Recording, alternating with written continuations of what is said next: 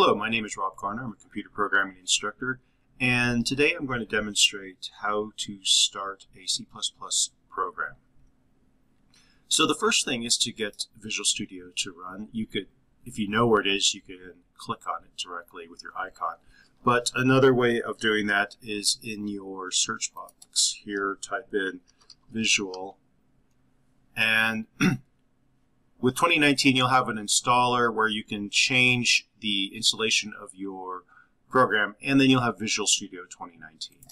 So I'm going to click on that, and that will bring up uh, Visual Studio. And then we're going to select Create a New Project.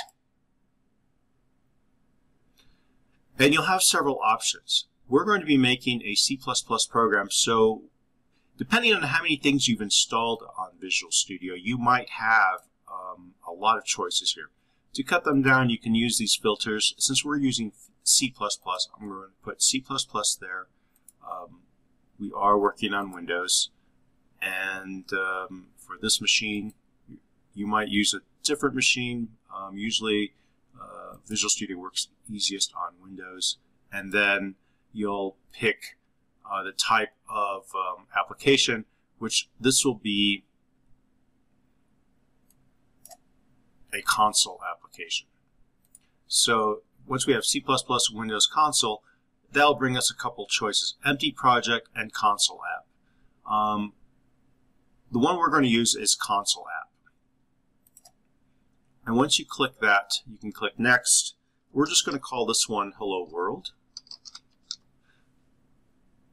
You can place the location for the drive by clicking these ellipses here to uh, pick any location you want. Generally speaking, the default one works well on your computer at home. At school, you may talk to your instructor and see where the best place to, to place it is.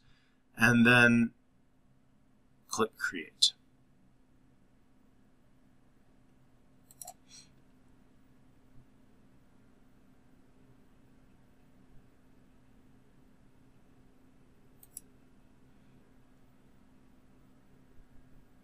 So this is what's called an IDE, uh, Integrated Development uh, Environment. And this is really a collection of tools that is made to make uh, your job as a programmer easier. You could actually write a C++ program using just a regular notepad editor. But there's a lot of features of an integrated development environment that makes this easier.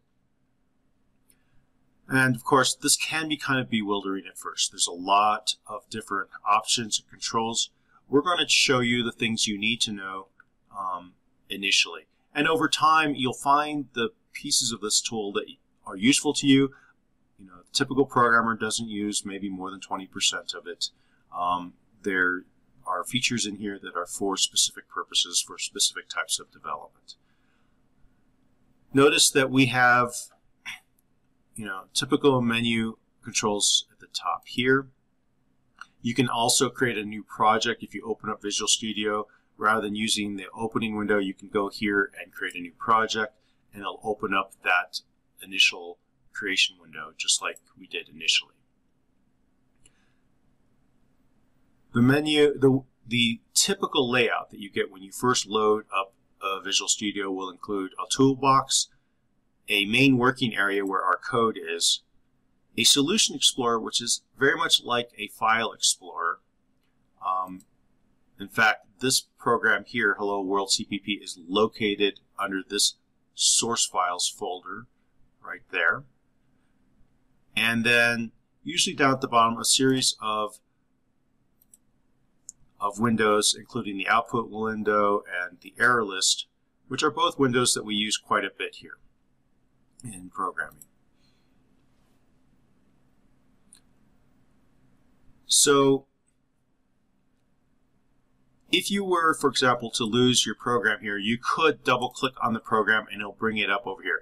Over time, we will have multiple files. Initially, you typically use one source file. In this case, it's called helloworld.cpp, which happens to be the same name as our project folder here and our solution folder at the top.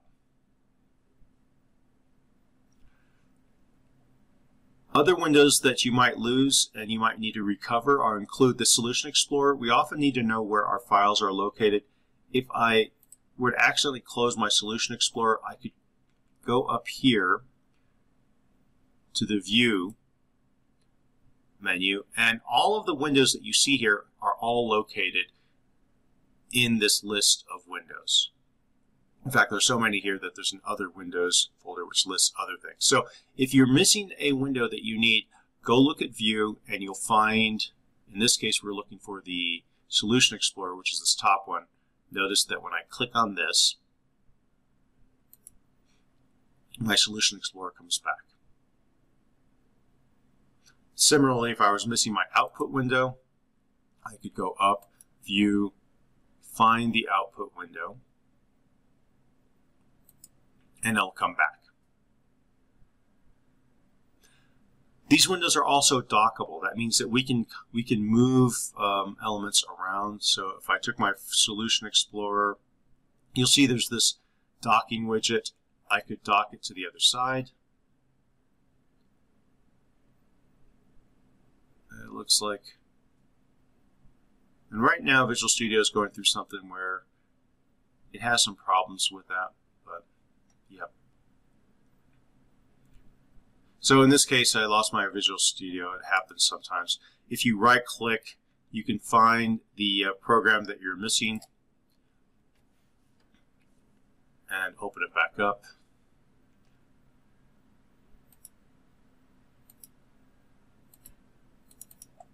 And I'll open up my, my Hello World.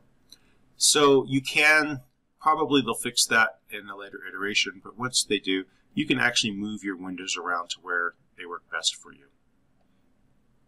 Now, when we start off Hello World, there's um, they're going to give you a bunch of um, useful notes here. Notice that these double slashes here are comments. Comments allow us as programmers to put remarks in our code. They don't actually get executed. They're just there to help us out. And in this iteration of uh, Visual Studio, they give you a bunch of tips for how to get started. You can read through those. We're going to go through those ourselves. But um, And so I'm just going to delete these comments at the bottom. And then typically we will put in um, comments here that tell us um, who the programmer is,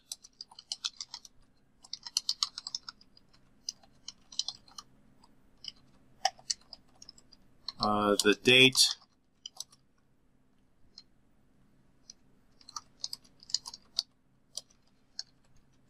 and then purpose of this program.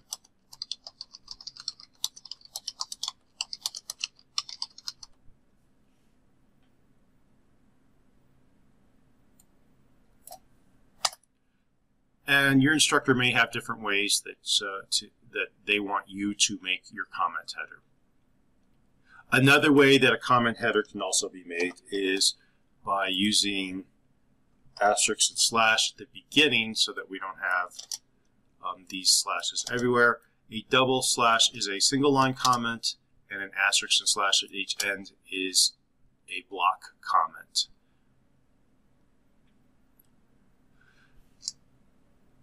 Some other changes that we typically make when we're starting a program in C++ are, you'll notice that there's this standard colon colon thing here. And if we were to continue writing code, we would have to place this in front of every single command that was related to the standard library. This becomes kind of cumbersome. And so to avoid that, we typically do this.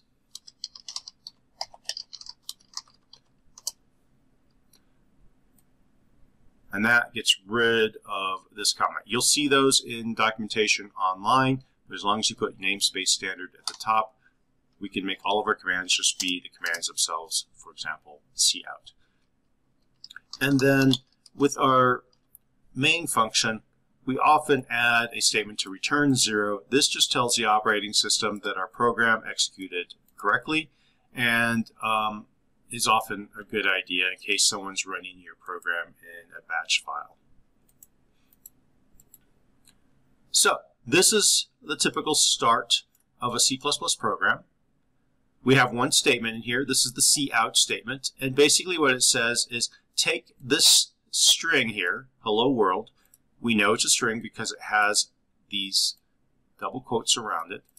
And this basically says stream, this is the stream operator, hello world to the standard output device, which typically is our screen or our console. So I'm going to run this. Now to run your program, there's a couple ways of doing it. If you go up to debug up here, we have start debugging and start without debugging. For now, for this demonstration, I'm going to use start without debugging. Debugging is a different um, demonstration.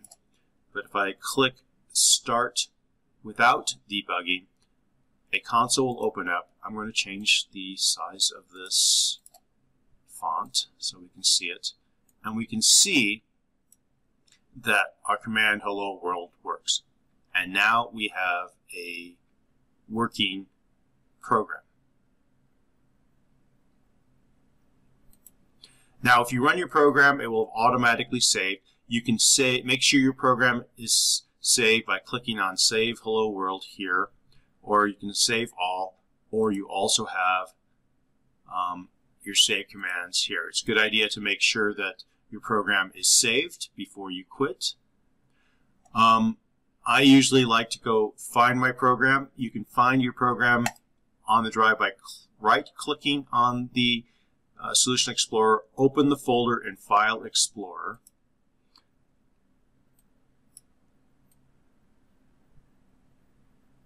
And you will find that when you do that, it'll open up a directory where your program is. And this is where your program is located.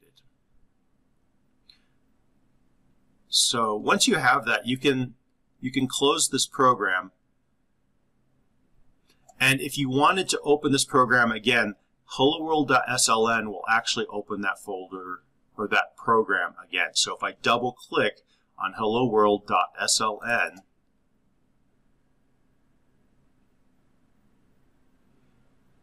my program opens up again and I can continue working. I'm going to close this again and one of the tasks that sometimes happens is that you need to zip your folder up with your project and um, send it to somebody. So let's look at the structure of this folder. You'll notice that we have Hello World here. This is the top level folder. There's also a Hello World folder inside of here. Sometimes people come in here and they only turn in this part. You actually need, notice that we have two Hello World folders. You actually need to have the entire solution, which means that it's this Hello World um, here, which is the entire project. So to to make this more compact, there's a few files we can delete here. This x64 file, sometimes it'll, it'll say things like debug or um, it will, in this case, it has a debug folder in it. We can get rid of that debug folder. So I can delete that one.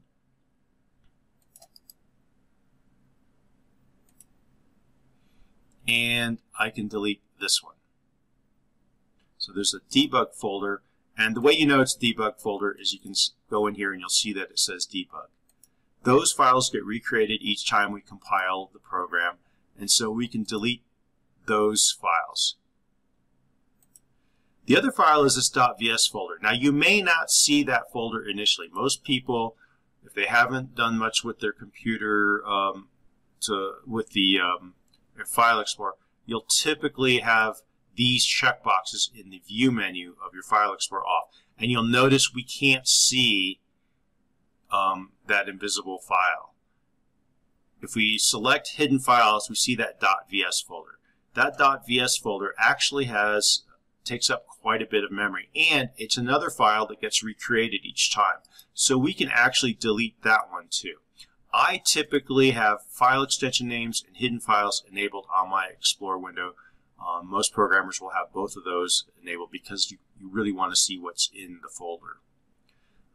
Once we delete the two debug folders and the .vs folder, we can go up to repos or the top, the make we can go to the top level solution folder here. Make sure you're at the top level one. It's not unusual. Students will just zip that um, that folder here. We don't want to do that. We want to be up at the very top level.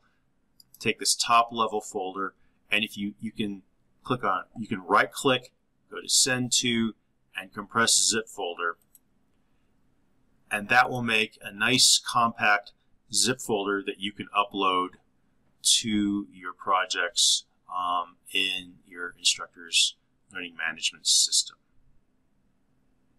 So that concludes uh, how to make a basic Hello World program in C++. Thank you very much.